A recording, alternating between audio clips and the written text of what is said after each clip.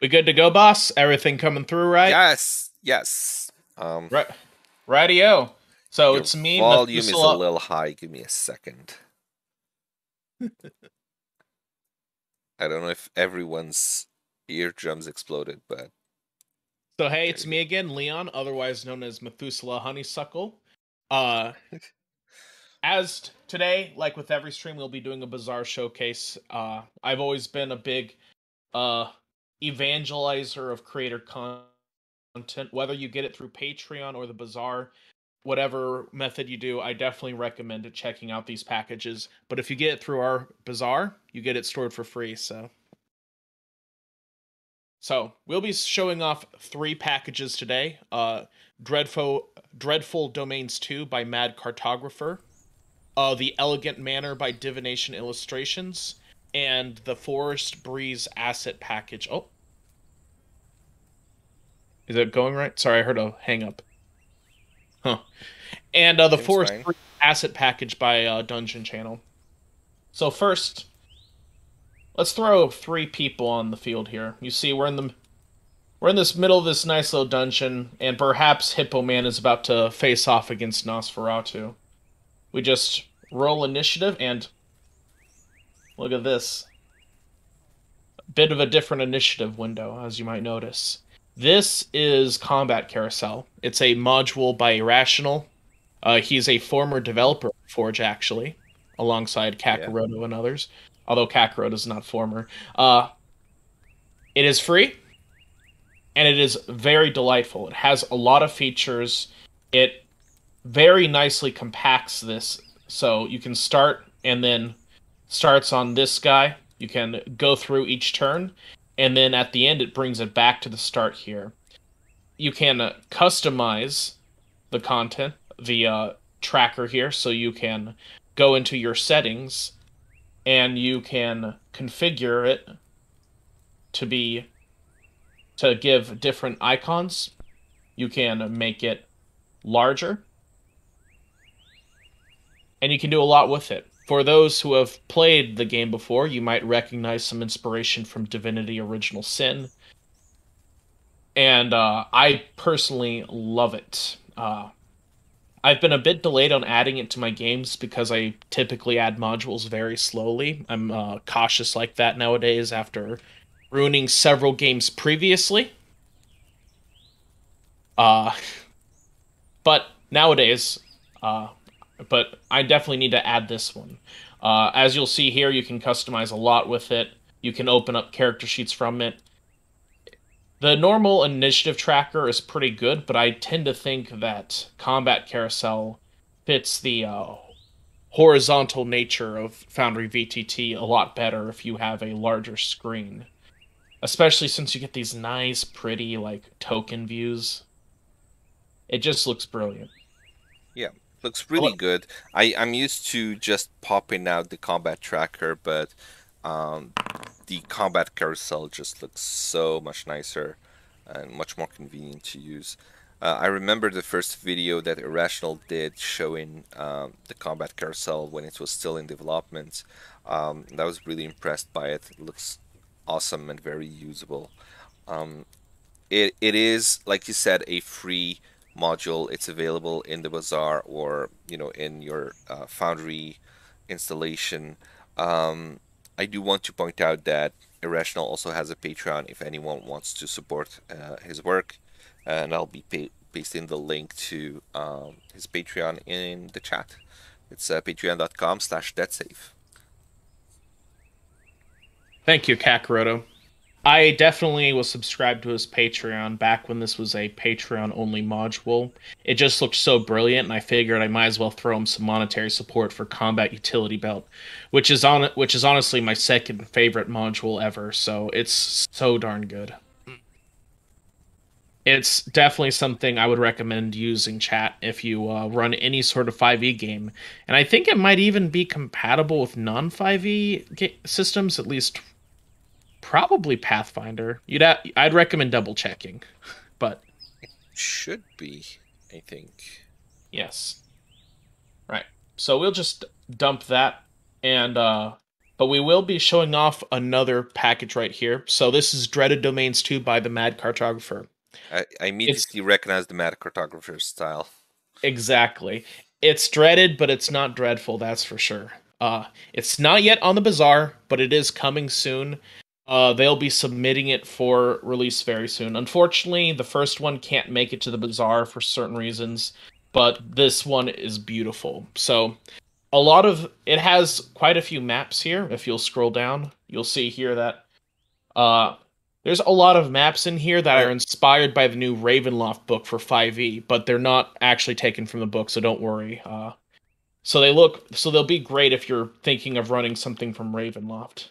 Uh, I'm going to interrupt you just for a second. Uh, we do have a giveaway that we want to do um, after you you're done showing the the bazaar stuff.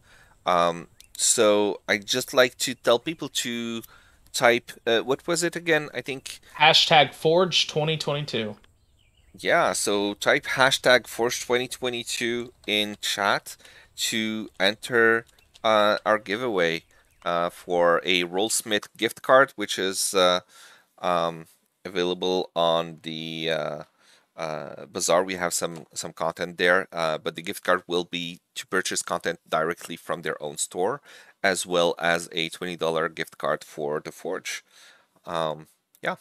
Uh, go ahead. While people spam the chat, go ahead and continue showing your uh, uh, the Mad Cartographers. So this is one of those maps that emphasize the philosophy of Foundry where you can put as much prep in as you want or as little prep in as you want. This puts in a good amount of prep. So you'll see that there's this arrow pointing down. It's actually painted onto the tile there. And it keeps pointing down here and there's a big X mark. Now this is where when I would have the players open it up and it's a rather vicious mimic. But why would the people making this dungeon point towards the chest? That's something you can answer as a DM. You could go down this wing and, oh man, there's a slime pit. And you could keep going that way. Or you could go north and, uh, interesting. The players won't see this, but if there's three braziers burning and one unlit, if they burn the brazier, secret door. Pretty cool, right? And then one final thing which I adored. So you get up to here and the rapids are flowing. The audio is so loud I can't hear anything. But yeah. the players can actually go down here and uh, these walls are walked through, at least on this side. Water washes them down. Suddenly they can't get out. They've fallen into the net and there's a bunch of bones here. Others have died here before. And just right next to the net, there is a heart chained to an altar. How did these people not escape the cage? Why is the heart pounding? That's something you can answer as a DM. So, this module is full of interesting twists and turns like that, and Mad Cartographer is a big fan of utilizing a lot of fancy modules that really pick up the pace and elevate a lot of his content uh, to make it worth the the pricing. And so I definitely recommend checking out this module when it goes live on the Forge. I'm honestly surprised you can put out these many maps each month. It's insane. And he's actually going to be launching a uh, Kickstarter soon for Crucible, a gaming magazine that'll yeah. release Foundry ready content. We saw that at PAX. Uh, that was a pretty cool thing. And you know, Mad is supposed to be one map a day uh, and that just tells you just how mad he was thinking that it was something doable but he is still extremely prolific uh, yes. Even, Apparently you know just like a, he did it for a while. Now just having these uh, extremely elaborate maps you know uh, i don't know how often he releases them um, probably like a, a couple uh, a month it's still quite a bit of work and we can see just how much um, there is there. Uh, there's the music, there's the um, you know the the walls, the secret passages. Everything is just working in such a cohesive manner. I love it. Yeah. So definitely check this out when it goes live on the bazaar. There's a bunch of other really cool map packages though that you can already buy from him. So we'll be moving on now to the next package set. Uh, we'll be actually showing off two in one here. It might take a second to load. Uh,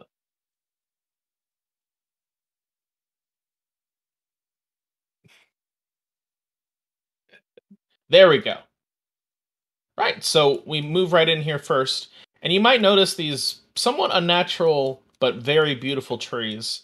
So we've got the Elegant Manor package from Divination Illustrations, but we've also got these nice animated trees. I'm going to be showing off these first.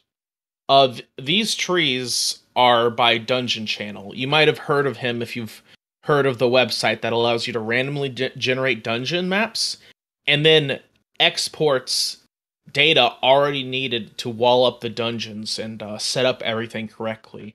He even now supports caves for those of whom want to test it out on his website. It's still experimental, but it still works very well and it looks great. Just a nice random spin up dungeon or cave. And it's gotten more elaborate since I last checked it over too. Now, these trees look amazing. They're even animated if you see me zooming in on here closely. So you can do stuff like set these up as overhead tiles. And then like underneath them could be like this shadow here around like this map. And so you can get some really realistic looking forests. So if you're the type of person that likes assembling maps within Foundry or likes enhancing existing maps like these trees are here, then it looks very nice. And let me show off something really cool I did just on the fly. It took me like a few seconds. I placed this shadow as an overhead tile, and so you'll see the leaves there are actually over the token if you look closely. So your players are just navigating along and they can feel the tree shadow over them. And let's say I want the tree shadow to be thicker. Oh, that's easy. So I just go to uh, the tile here, and I have to go to the uh, foreground layer. And let's just uh, duplicate one of the to tokens there. Suddenly darker even more noticeable now. Look at that. Oh, so yeah. so gosh darn beautiful. And you can set this up so like here, let's see if I can do it on the fly real quick. So like let's set this up so it's roughly centered, right? And we're going to set this up. We're going to actually move this to uh zoom out a bit, little bit. We're going to move this to the uh, foreground layer. So we're going to give me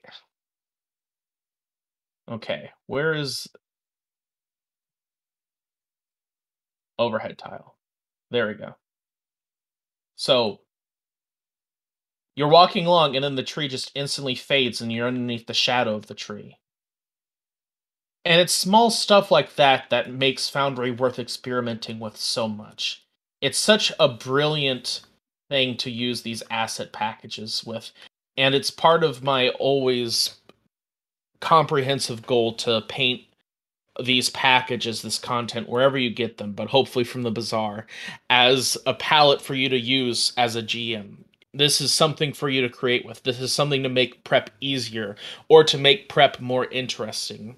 Imagine your players walking through a forest and just the tree line disappearing as they walk under it to be replaced by the glistening, shaking leaves in the wind as they walk under each branch it's pretty awesome and just adds so much depth to your map with so such simple changes. It's uh, really awesome. Yeah, and like heck, like your players won't notice if you just copy and paste the same tree over again, like rotate it a bit, and then rotate the shadows a bit as well. They'll never notice, and if you do, just throw in an extra tree or two from the pack. There's like, gosh, like thirty of them or so. It's ridiculous and then just like randomly throw them in. If you're using Moulinette, a uh, module that lets you browse the asset packages on our service, you can actually use that to just quickly like look them up and like search through a bunch of images really quickly and throw them onto the map. So now we're going to be showcasing the actual package that these assets are on, which is the Elegant Manor map. Uh, looking over it, uh, you see that there's this nice, simple uh, manor. It doesn't have a lot of detail, but this can be actually pretty useful because if I'm running a combat, it can get pretty hard if everything's compact and clo- and uh, close together. It's probably more realistic, but it looks a lot nicer and it makes for a lot better combat with these spread out rooms and this simplistic stuff. Because and it also lets you insert more detail via theater of the mind. So maybe like you can describe more detail about how like the certain floorboards are more worn if there's a secret passageway you want to throw down. And like that wouldn't work as well in a more detailed map. Or maybe you want to paint this as like just a nice simple happy home. And the fact that it's less cluttered and more spaced out and clean kind of helps emphasize that mood in your players heads. Oh yes and by the way this map set for the elegant manor also has a nighttime and dusk version uh, so we're we're trying to load into floor two here We'll go up to floor two and we might see something a little strange. A lot of bedrooms, a lot of very small ones. Maybe this is a guest, a lot of guest bedrooms for the manor lord who likes to keep over guests. Or uh, maybe he's secretly Hippo Man and he's luring your players in. He's a were hippo. And he's luring them in to ambush them at night. And he's going to harvest your players' bones for keyboard keycaps and their adrenochrome for keyboard lube, as is right and proper. Uh, for those not in the know, um, Destiny Gray here is a fanatic of uh, mechanical keyboards, and he keeps talking about them. And I always keep saying that he's a cultist and that he's in the cult of the mechanical keyboards. I'm not in a cult. Give me your adrenochrome, boss. Anyway, uh, that'll actually be it. I just wanted to show off this nice these uh packages and how nice and simple this one is. And uh this one goes for pretty cheap on the bazaar, so I'm definitely picking this up for use. Uh, my players are going to be very disturbed when they're wandering around a post-apocalyptic campaign that they're in, and they just come across this random nice forest manor. Like, what the heck is happening here? And I'm going to do absolutely nothing to them, and it's going to make them ridiculously paranoid. So, thanks for tuning in, but I think that'll be the end, the end of my uh, showcase there. All right. Thank you, Destiny.